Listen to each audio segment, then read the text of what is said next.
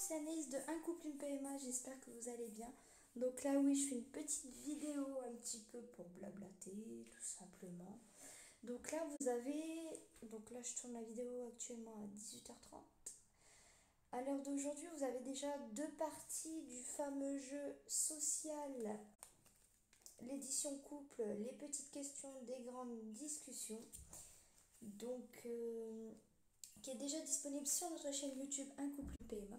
La dernière fois, on avait fait aussi une vidéo explicative de savoir sur quelle technique on partait. Donc oui, la fameuse technique qu'on part sur euh, une IIU à partir du mois de juin. Donc là, c'est j'ai une, bah, pause, voilà, de, mai jusqu'à juin. J'ai une grande pause pour pouvoir perdre du poids. Aussi euh, faire le vide dans ma tête, tout ça. Et pouvoir aussi un maximum poser des questions à la gynécologue. Donc euh, là, je voulais aussi faire un, ben voilà, un petit coucou. Parce que c'est vrai que si on attend jusque juin, on va pas poster de vidéo jusque ben voilà, le mois prochain. Donc je me dis une petite vidéo en plus pour vous faire un petit coucou aussi, pour vous rassurer. Ça ne peut pas faire de mal. Donc euh, voilà, comme je disais, il y a déjà deux vidéos disponibles sur le jeu social édition couple. Et puis en même temps, je voulais aussi vous parler un petit peu de ce qui va se passer. Donc on a rendez-vous aussi le 4 juin. Enfin, mon compagnon a rendez-vous pour le spermogramme. Voilà. Donc on a rendez-vous. Et on a rendez-vous aussi le 14 juin avec la gynécologue en question du centre hospitalier. Euh, là où on fait notre PMA pour aussi euh, ben voilà, euh, commencer.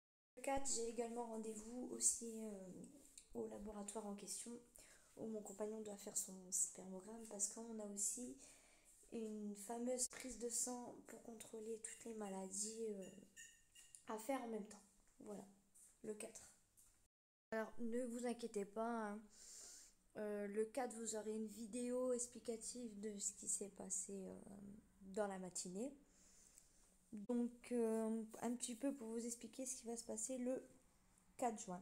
Le 4 juin, moi j'ai une prise de sang à effectuer sur les maladies telles que l'hépatite B, l'hépatite C, la syphilis, le HTLV1 et 2, la toxoplasmose, la rubéole. Mon compagnon, lui, quant à lui, aura, en plus de son spermogramme, il aura aussi également sa prise de sang à effectuer pour vérifier les maladies telles que l'hépatite B, l'hépatite C, le HIV1 et 2, la syphilis, le HTLV1 et 2.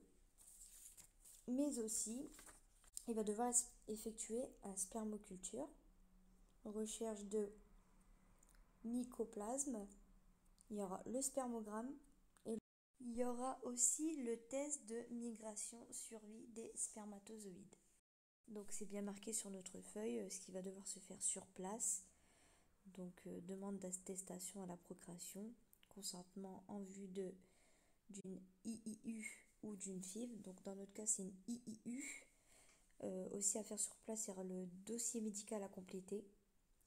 Donc on a donc le fameux 4 juin, on a le dossier d'insémination à faire vers 10h. Vers 8h45, mon homme doit faire un spermogramme. Et moi je sais que on a également nos de sang effectuée avant le spermogramme. Voilà. Voilà un petit peu comment ça se passait pour le 4. Pour ensuite, 10 euh, jours plus tard, c'est-à-dire le 14 à 16h30, on aura rendez-vous avec la gynécologue en question qui va faire la IIU, si tout va bien, avec le dossier qu'on devait compléter. Donc il faut une photographie du couple, une pièce d'identité de chacun, euh, un justificatif de vie commune, et on devait signer euh, tous les deux le consentement. Si t'as kiffé cette vidéo, t'as qu'à t'abonner en cliquant sur le bouton s'abonner juste en dessous, liker la vidéo, activer la cloche de notification pour ne rien louper et commenter, la partager.